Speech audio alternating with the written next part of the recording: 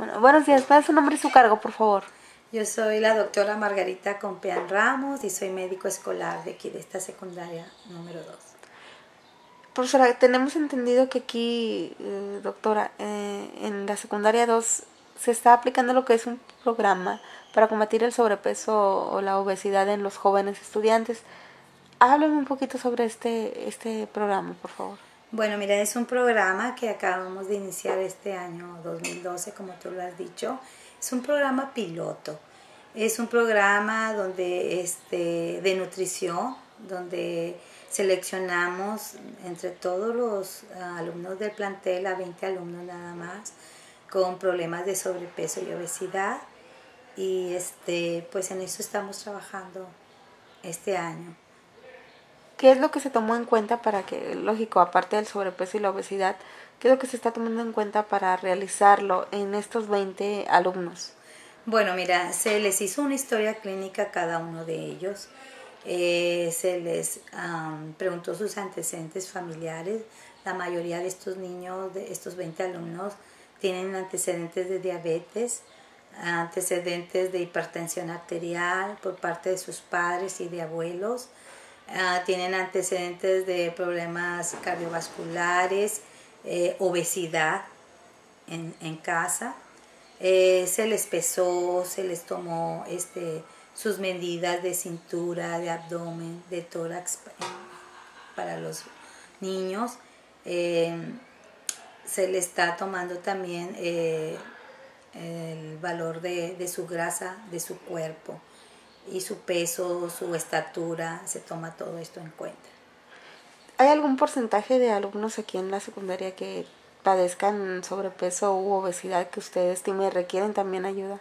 Sí, sí, la mayoría de, los alumnos de esta escuela, yo creo que un 50% hay, obesidad, hay sobrepeso y obesidad. Eh, me hubiera gustado iniciar este, este programa a todos eh, los que lo necesitan. Pero en esta ocasión, como te repito, es un programa piloto que apenas vamos iniciando, son con 20 alumnos, eh, pues se necesita de muchos recursos, eh, apoyo de exámenes de laboratorio que estamos necesitando ahorita. tú sabes que esta es una escuela este, de nivel socioeconómico medio hacia abajo, los padres trabajan, no tienen a veces los recursos para, este, para sacar estos exámenes de laboratorio.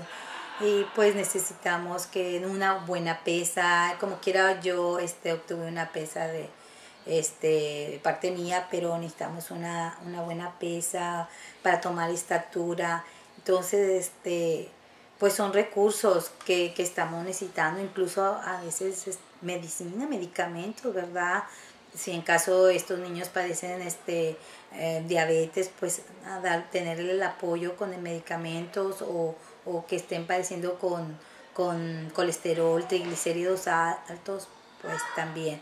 Aunque ahorita estamos iniciando con cambios de su alimentación, se les está enseñando que conozcan todos los grupos de los alimentos, que en cada alimento pues que esté la proteína, que esté el carbohidrato, incluso la grasa, que estén algunas vitaminas y pues en eso estamos trabajando sus frutas también que es muy necesario en cada comida, en cada comida perdón, para eh, que deben de llevar a cabo en los tres alimentos del día. Usted señalaba que requieren del apoyo para realizar estudios de que de triglicéridos. Sí, de, glucosa, hacer glicemias, hacerle este exámenes de, de colesterol, de triglicéridos una BH, también, este, ¿por qué no una hemoglobina glucosilada?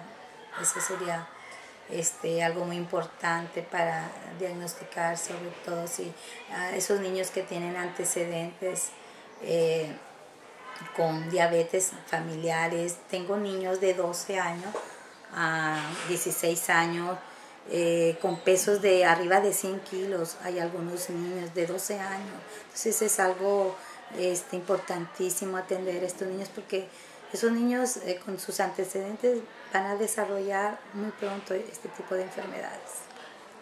Decía usted también que existe apoyo por parte de los padres de familia, pero se requiere aún mucho más Ah, apoyo. sí, sí, requerimos de bastante ayuda. Este, eh, no, no tenemos eh, completo para, para llevar a cabo estos exámenes de laboratorio, no hay los recursos, no tenemos los recursos, este, y pues sí, me gustaría mucho tener el apoyo, no sé, por parte de Salubridad, de la misma SEP, de la Secretaría de Educación Pública, pues no sé, me gustaría mucho tener ese apoyo.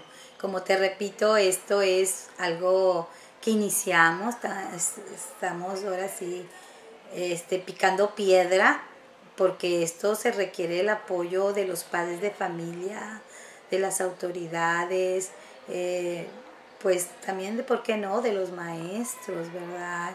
Tener el apoyo, que ellos tengan un- un- una enseñanza. Mm, Sé que en ciencias eh, hay algún tema sobre alimentación, pero esto debe de- de ampliarse más Ser más profundo. más profundos y que se lleve a cabo, o sea, que practiquen esa enseñanza que, eh, los que están recibiendo por parte de sus eh, maestros, también llevarlo a cabo en, en su casa, en su vida diaria. Ajá.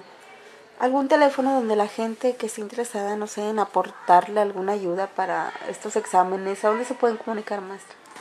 Pues puede ser aquí mismo, en la secundaria 2, este es el 714-3308, que es el, el teléfono de aquí de la secundaria este número 2. Aquí, este, como te repito, yo soy dentro del departamento médico escolar. Este es un proyecto que se realizó, se llevó a cabo a partir de aquí, de este departamento, no es de la Secretaría de Educación, sino de aquí mismo, de este departamento, eh, se inició este programa. ¿Algo más que usted agregar? Pues nada más que eh, todos aquellos, ¿verdad? Que, que vean este, este reportaje, que, que quieran apoyarnos. De verdad tenemos niños que, que son niños de alto riesgo de padecer todas estas enfermedades, con niños que, que su calidad de vida se acorta. Ustedes saben que eh, cada 10 este, kilos arriba son 10 años que se le acorta la vida de estos jóvenes. Entonces, eh, esto es importantísimo de que todos nosotros como sociedad apoyemos a todos estos jóvenes, adolescentes que, que necesitan urgentemente esta atención médica. Gracias.